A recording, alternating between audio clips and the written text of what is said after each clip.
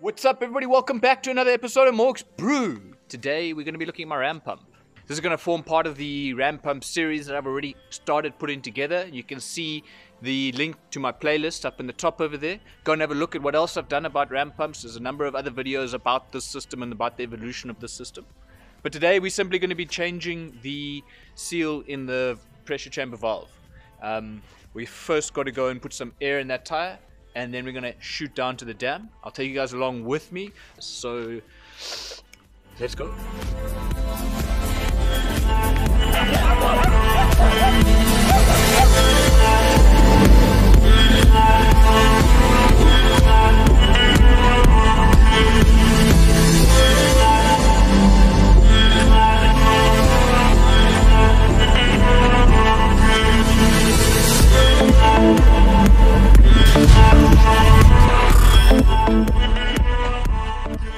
Our little weir over here that we put together in the ultimate DIY ram pump, which you can find linked up in one of these sides here. Basically, our pipe goes along here, goes up through the bush, to our standpipe, and into our ram pump. Let's go get down there.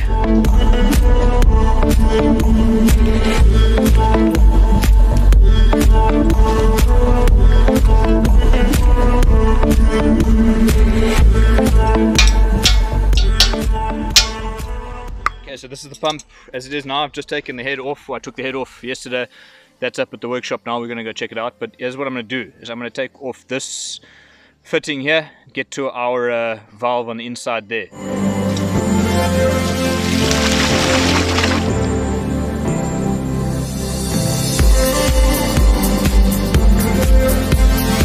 So yeah, this is the valve. Just got a rubber seal here on the flange. We'll get rid of that rubber seal now. Put it aside and then take off our valve. And that's it guys, all it is, plate, a piece of uh, machine belt or conveyor belt over here, and um, holes drilled in it. But uh, what's happening here for me is that I've got a leak coming through this bolt, through one hole over here, so what I'm going to do is I'm actually just going to weld that shut. Uh, put a spike, a threaded thing through there so we can bolt the, the valve on the other side onto the spike and not have it as a hole because right now this bolt goes through the hole and it should be part of the hole. It should be the plug of the hole. It should just be there. However you want to look at it, yeah. So let's take this back up to the workshop, do a bit of work, bring it back down, put it together, cycle this bad boy, and uh, that'll be that. Okay guys, just want to give a big shout out to my unofficial collaborators. Basically kitted out today in Beck, top to bottom. Beck uh, function trousers, their crew shirts, denim jacket, and then I've got my Jim Greens on my feet. This is pretty much a standard attire for me on the farm. Beck clothing, that's it, and then Jim Green footwear. Either them or Shkumba. The guys down the road here, but my shoes at the moment, they're in need for some repairs. So we're just waiting for lockdown to finish before we get those in for repair. But you'll see them again soon. Boom, just like that, we're back in the workshop. Got both our valves over here. We've got our impetus valve on this side, plugged up in the vise at the moment. And we're gonna start stripping this one. Talking, drowning with thought.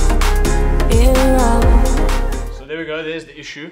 Is that this middle hole over here should just be a like a piece of thread bar and uh, shouldn't have a bolt through it because I I'm, uh, was winning with a bit of Teflon tape but you just have to replace it every now and then so I'm over replacing it. Just gonna modify that quickly, put them back together, get back on the road.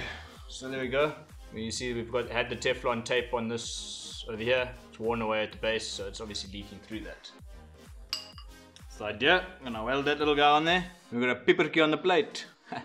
My last episode, I went over how to get started welding, and I'm back here at where I was working. We're not going to carry on with this mode today, but I'm just going to touch up that uh, that valve that I was showing you earlier. Um, if you're interested in welding, you check out that video, Getting Started Welding. I go through my process, what I use around me, the kit that I wear when I weld, and uh, yeah, sure, it's a short little video where I started attacking this project, but I've got to get a bit more steel to carry on with this. Might be next episode, uh, we're going to be working on this guy again.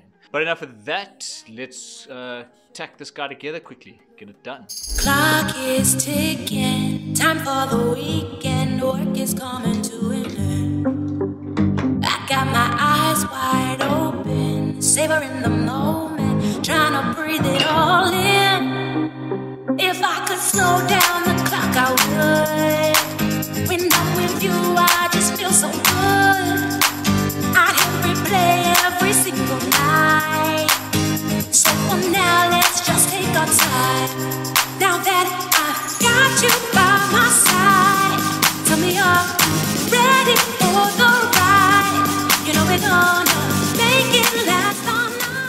plan never really comes together like a plan, but anyways, worked out nonetheless.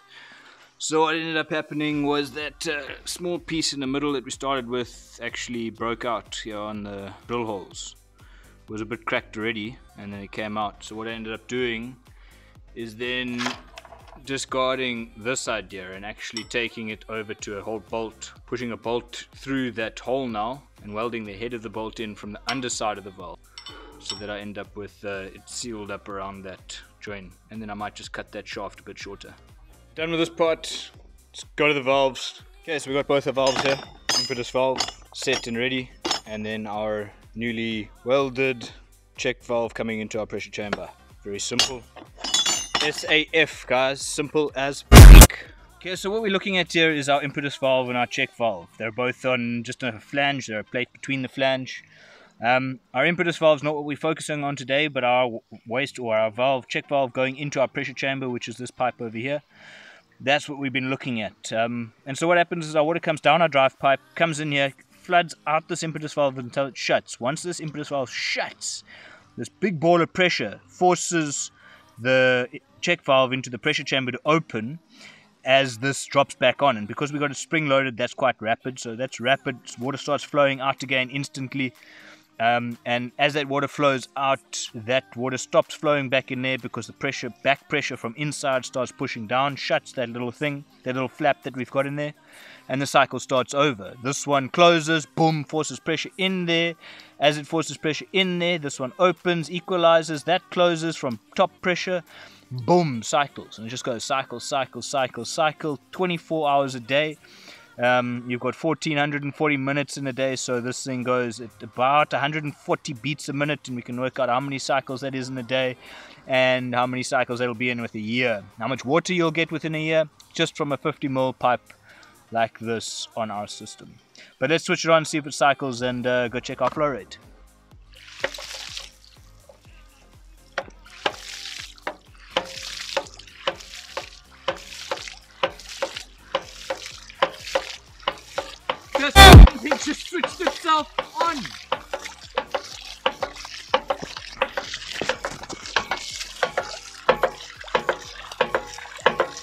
You believe how quickly that switched on?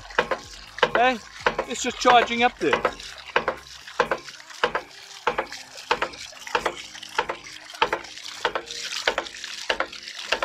So I sniffed a valve over here.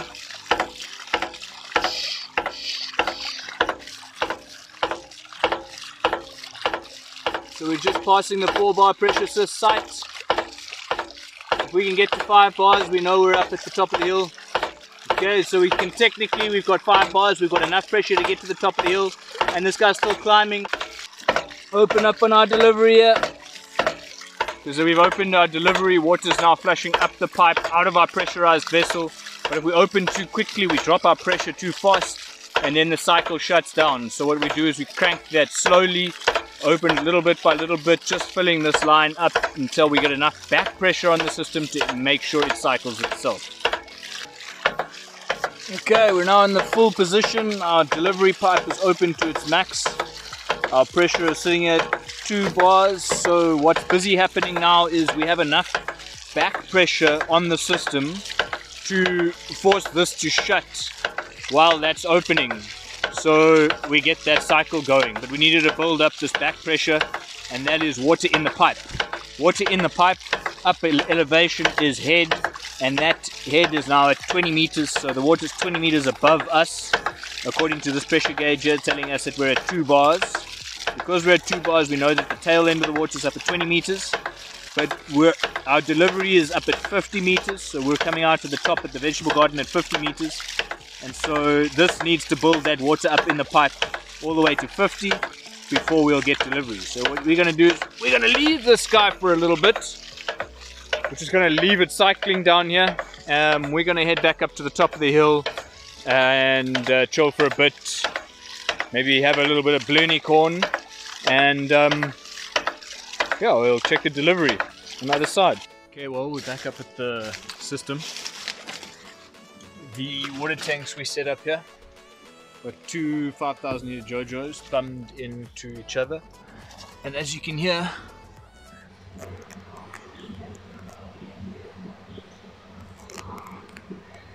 we've got water. so what we're going to do is we're going to pull the pipe out the top, we're going to let it uh, equalize or normalize the flow out and we're going to see exactly how much water we've got coming out here and we can plan appropriately. Um, so I'm going to pull the pipe out and I'm just going to show you around what we're doing with that water, uh, just using it down the garden below.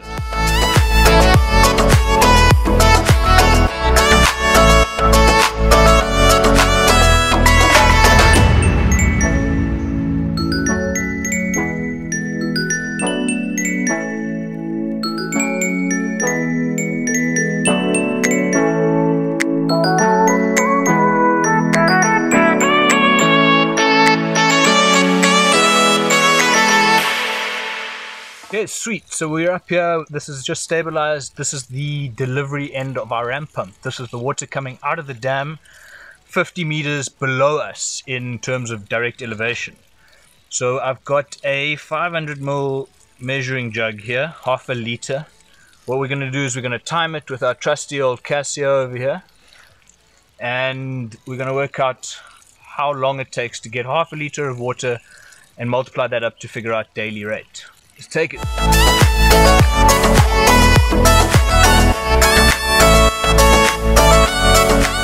Twenty-five seconds.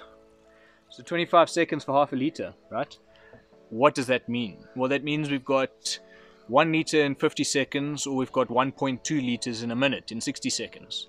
They're 1440 minutes in a day, so it means we've got 1,700 and roughly 1,700 liters in a day. Basically, the water that's coming up there ends up like this. There's always going to be a bit of sediment in the bottom of it, but this has been settling out for about a week now. Um, it's pretty clear. Obviously, got a bit of sediment in it, but uh, we managed that. No problem. we've got an inline disc filter with our drip irrigation system. Well, this brings us to the end of another episode about this ram pump and the evolution of its story.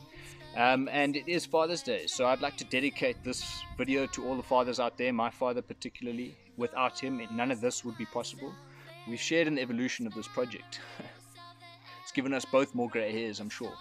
But anyways, it's been fun, and as usual, if you guys are still here at the end of my video, please subscribe to my channel, hit the like button, gives a a lot of weight to the YouTube algorithms and all that kind of nonsense happening in the background. And as usual, thanks for joining. Thanks for sticking around for another brew. We'll see you again next time. Keep it real.